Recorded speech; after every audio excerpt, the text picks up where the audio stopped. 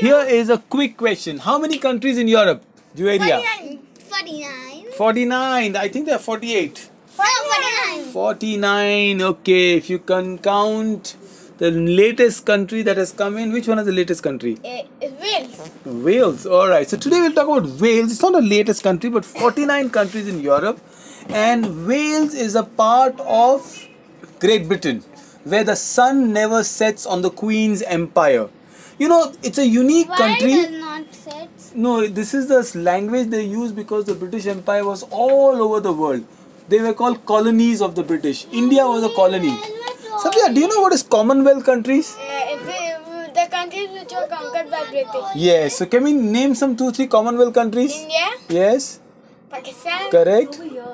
and You know, Australia is a Commonwealth country Yeah. because Britishers went and settled in Australia too. So that is why. even uh, Bangladesh, Afghanistan. Yes, you're Bhutan. right. Bhutan. Okay, so these are Commonwealth countries, and one of the country of the island of Great Britain is Wales. And also were conquered. yes, but actually, when you India goes to play cricket match in in uh, Great Britain or UK as we call it, the English tour, there is a the capital of Wales becomes a sports ground called Cardiff.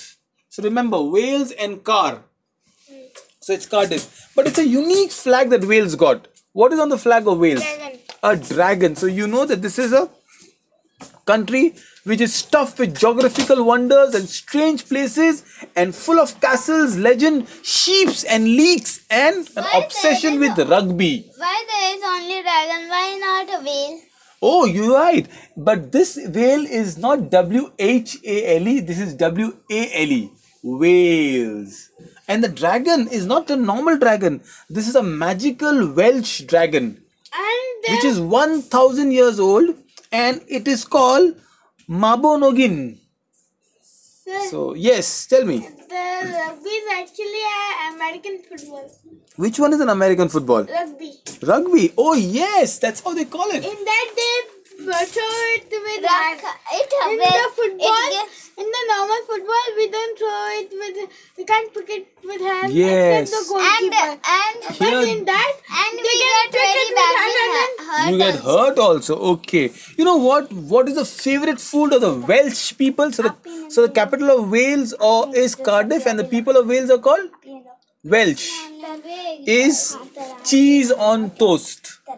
Cheese on toast. It's not a normal cheese on toast. It's a soaked cheese mixed with mustard sauce and completely melted. Wow, I would love to eat it. Okay, quick question.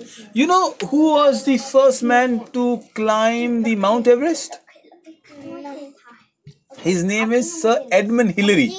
Edmund Hillary is from and Tenzing Norgay. All right, Tenzing Norgay and Edmund Hillary. Of course, they are not from.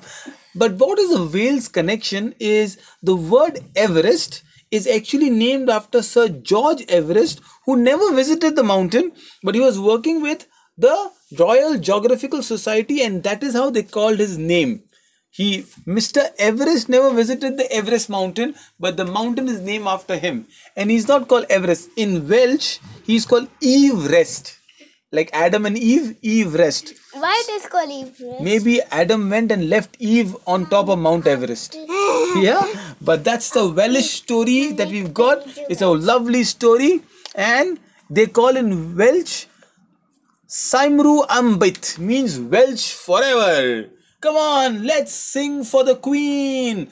Hello, hail the Queen. Good night. Bye bye. Bye bye.